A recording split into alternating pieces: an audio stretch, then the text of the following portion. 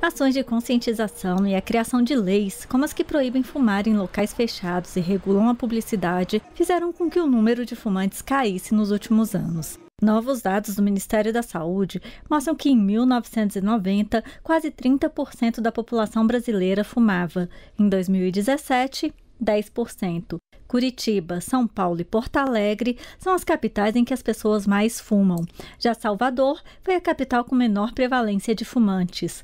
Se somados os gastos em campanhas, tratamentos e previdência, o cigarro custa para o governo quase 40 bilhões de reais por ano. Essa desconstrução também do cigarro como coisa boa, isso vem junto com esse processo mesmo de restrição do uso do cigarro e dos lugares né, de fumantes, tá?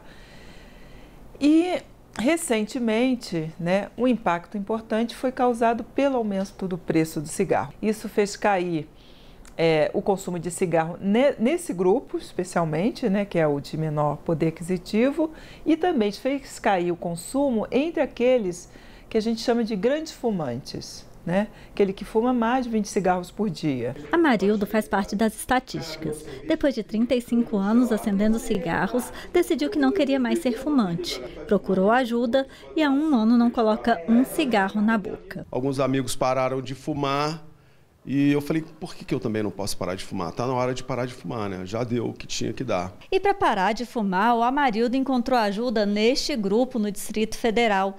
Aqui o tratamento conta com terapia e medicamentos como adesivo de nicotina e é todo feito pelo SUS. Grupos como esse estão espalhados em postos de saúde de todo o país.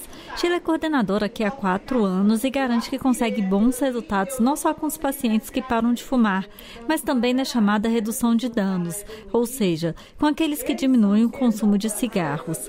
Ela explica que, com a ajuda, parar de fumar fica mais fácil. O grupo oferece o suporte nessa parte de é, adesivos, de medicação, o suporte médico e o suporte do enfermeiro também. Sozinho é muito difícil.